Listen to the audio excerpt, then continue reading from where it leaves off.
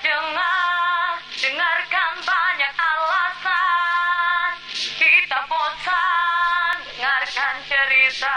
Hmm.